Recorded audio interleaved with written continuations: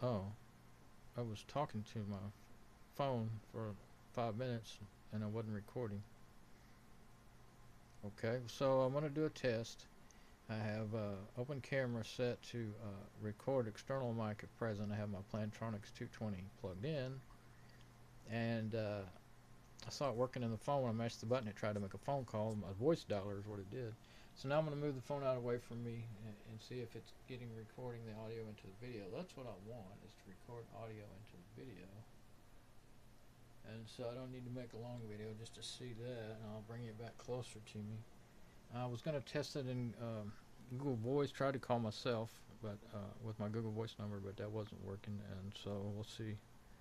I know it works. The headset I've done, I've used a Google Voice call before, so with it. Okay, bye.